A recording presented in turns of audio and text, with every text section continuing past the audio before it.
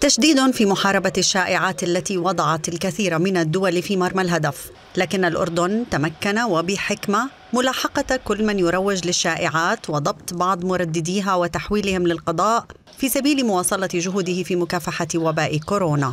منذ بدء اليوم الأول للأزمة قامت الحكومة والقوات المسلحة والأجهزة الأمنية بالتعامل مع الأخبار والمعلومات الواردة بموضوعية ودقة ونقلها إلى وسائل الإعلام والمواطنين بكل شفافية ومصداقية.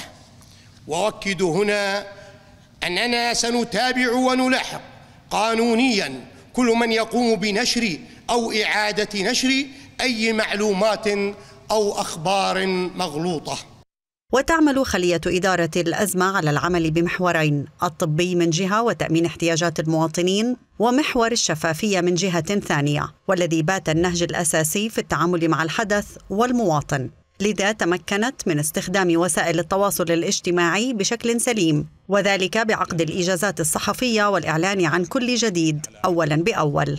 راهنت هذه الاستراتيجية في كل الأحوال على درجة وعي الشارع الأردني. هذا سلاح ذو حدين. درجة الوعي العالية تتطلب شفافية. الحمد لله آه، المواطن الأردني هو رديف كان للجيش العربي وللأطباء وللممرضين فكان هو اللاعب الآن الجديد في معركة مواجهة الكورونا. بوعيه وتعاضده والتفافه وثقته من خلال شفافية الإعلام آه، بالإجراءات الحكومية التي تثبت آه، نجاحها وتغييرها. الشفافية أيضا كانت بتغيير الاستراتيجيات في التعامل. تقبلها الشعب وتعاون معها.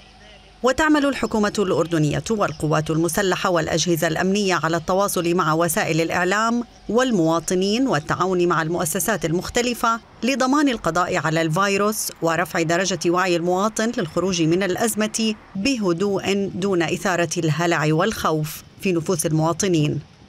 إجراءات محكمة في محاربة فيروس كورونا وشفافية مطلقة في التعامل مع الإعلام. بنت جسورا من الثقة ما بين الحكومة من جهة والمواطن من جهة ثانية. الأمر الذي دفع المواطن الأردني للالتزام بالتعليمات الصادرة. دام الكردي قناة الغد عمان.